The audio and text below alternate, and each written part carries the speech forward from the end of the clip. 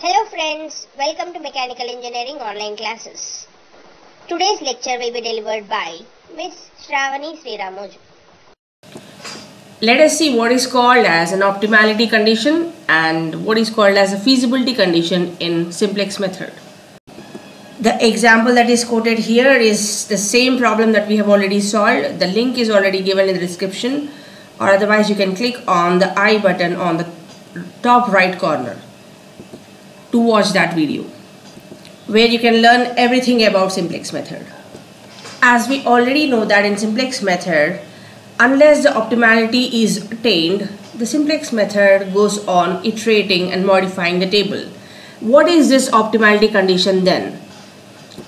Optimality condition depends on whether we can find an entering variable or not.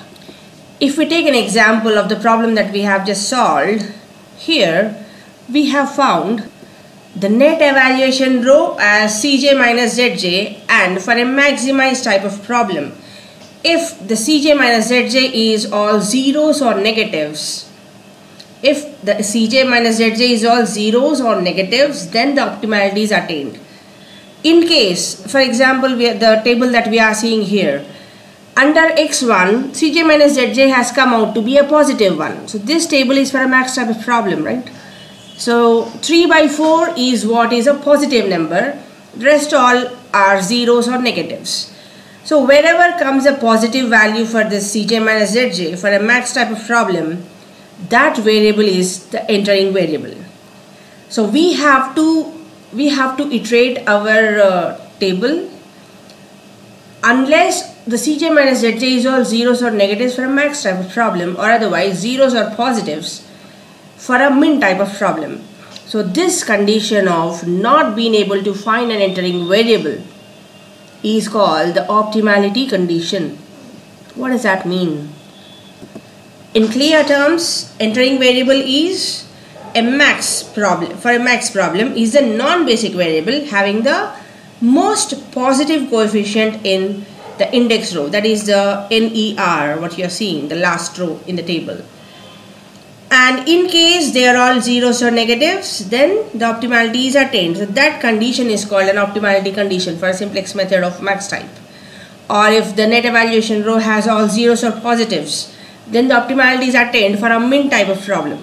So that is what is called an optimality condition for simplex method. This condition guarantees that only improved solutions can be obtained through this optimality principle.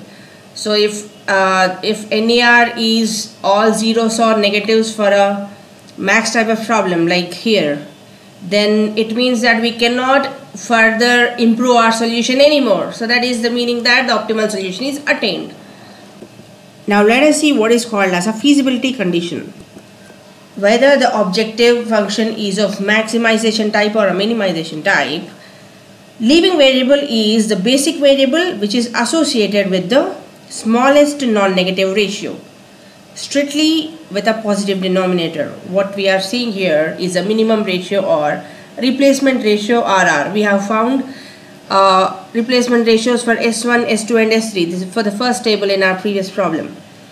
So, in case there is a tie in the replacement ratio or the minimum ratio then the tie can be broken arbitrarily or that is a condition of uh, degeneracy let us solve that problem later. You can see it later.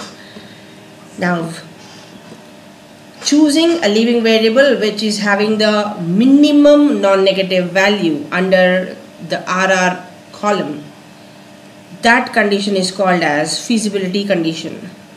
So this condition will ensure that if the initial solution or the static solution is basic and feasible, then during computation, we will definitely get only feasible solutions further. So that's the reason why we always start our simplex method with an IBFS, initial basic feasible solution. So if the first step is feasible, then every other step uh, after every iteration iteration, we definitely get a feasible solution only. So this is the feasibility condition. So optimality condition is with reference to the entering variable whereas the feasibility condition is with reference to the leaving variable. Thanks for watching. If this video was of help to you, please like it and share it with your friends. And don't forget to subscribe to our channel.